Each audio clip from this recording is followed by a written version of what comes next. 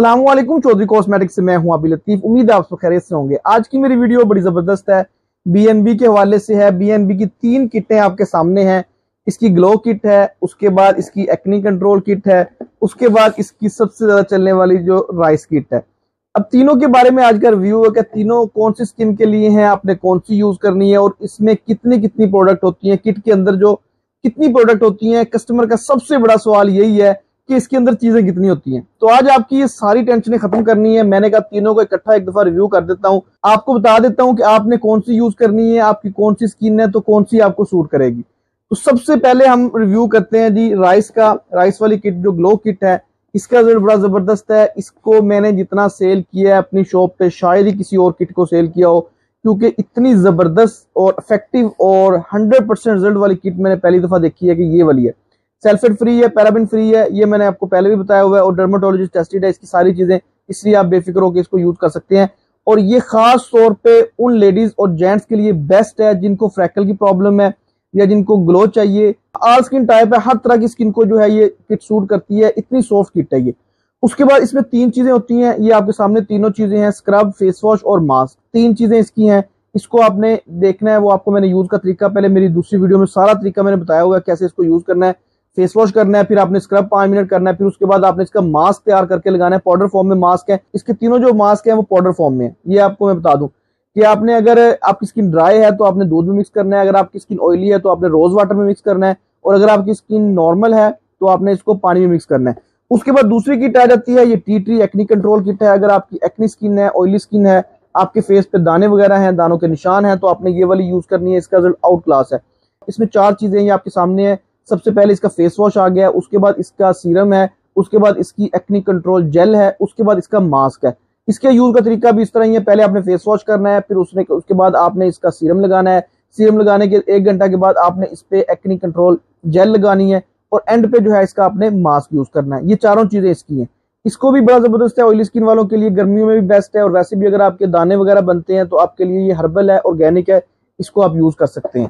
تیسرے نمبر پہ آگے گلو کٹ ہے، اس میں تین چیزیں ہیں، اس میں فیس واش ہے، اس میں سیرم جس کو سن بلوک کہتے ہیں، اور ٹنٹڈ نہیں ہے، وہ ان ٹنٹڈ سن بلوک ہے، جو آپ کی سکن میں جذب ہو جاتا ہے موسچر لک ہے، اور نان سٹکی ہے کہ آپ کی سکن میں اس طرح جذب ہوگا، پتہ بھی نہیں چلے گا کہ آپ نے سن بلوک لگایا۔ اور اس کے بعد ماسک ہے۔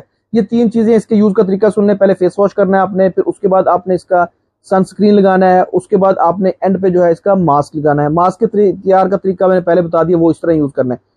آسان لفظوں میں آپ کو میں بتا دیتا ہوں کہ آپ نے اگر آپ کی نارمل سکن ہے، آپ کو گلو کٹ چاہیے تو آپ نے رائس والی یوز کرنی ہے۔ اگر آپ کے فیس پہ دانے وغیرہ ہیں، دانوں کے نشان ہیں، تو آپ نے ایکنی کنٹرول کٹ کرنی ہے۔ اور اگر آپ کو سکن ڈرائی ہے، آپ کو گلو چاہیے، آپ کی سکن میں موسچر پن چاہیے، تو آپ نے اس کی یہ والی گلو کٹ یوز کرنی ہے۔ پنک گلو کٹ جو ہے، یہ ڈرائی سکن والوں کے لیے بیسٹ ہے۔ یہ تینوں کٹیں آ گئی ہیں، تینوں چیزیں آپ کے سامنے آ گئی ہیں۔ ان کے اندر کیا ہوتا ہے، یہ بھی آپ کو بتا دیے۔ اب آپ کے مائنڈ میں کوئی سوال نہیں رہا ہوگا۔ تو مجھے امید ہے کہ آپ کو بہت اچھے انداز سے پتہ چل گیا ہوگا آپ نے کون سی پرچیز کرنی ہے اور آپ نے اپنے فیس پہ کون سی لگانی ہے۔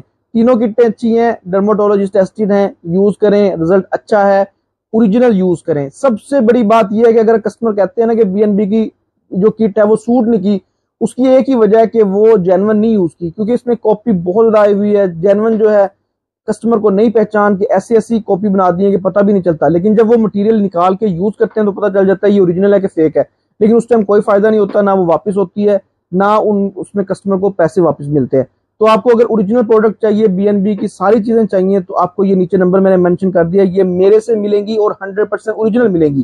اب میں ویڈیو بناتا ہوں ٹک ٹاک وغیرہ پہ بھی یا یوٹیوب پہ بھی، تو نیچے مجھے میسج آ رہے ہوتے ہیں کہ بھائی یہ اوریجنل کہاں سے ملے گی؟ وہ ایک بندہ پاگل ہے، وہ آپ کے لیے ویڈیو بنا رہا ہے، آپ کو بتا رہا ہے کہ اوریجنل یہ ہے فیک یہ ہے اور جینون یہ پوری شاپ کا ویو پیچھے نظر آ رہا ہے۔ کہ میرے پاس ہر چیز پڑی ہوئی ہے، میرے پاس بی این بی کی ہر رینج پڑی ہوئی ہے۔ پھر بھی پوچھتے ہیں کہ یہ جینون کہاں سے ملے گی؟ یہ جینون یہاں سے ملے گی، یہ میں بتاتا ہوں، یہاں سے جینون ملے گی، میرے سے جینون ملے گی آپ۔ آپ کو جب بھی چاہیے، آپ کو اس شاپ سے چودری کوسمیٹکس جو کریم بلاک مارکیٹ علامہ اقبال ٹاؤن لاہور میں ہے، اور یہ نیچے نمبر مینشن ہے، اگر آپ شاپ پہ وزٹ نہیں کر سکتے، اس نمبر پہ میسج کریں واٹس اپ کریں، آپ کو یہ آن لائن ڈلیور بھی ہو جائے گی اور ایک دن کے اندر اندر ڈلیور ہوگی۔ ایک دن کا وقفہ ڈال کے اگلے دن آپ کو کنفرم جو ہے ملے گی اور ہم اچھی سروس کے ذریعے جو ہے اس کو کرتے ہیں اور آپ کو کوئی بھی شکایت نہیں ہوگی انشاءاللہ، آپ نے ایڈوانس پیمنٹ کرنی ہے، اس کے دو دن کے اندر اندر جو ہے آپ کو ڈلیور ہوگی اور ہنڈریڈ پرسینٹ ڈلیور ہوگی۔